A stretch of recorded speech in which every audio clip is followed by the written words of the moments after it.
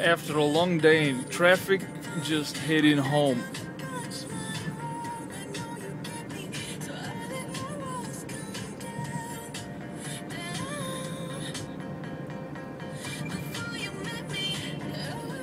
Oops.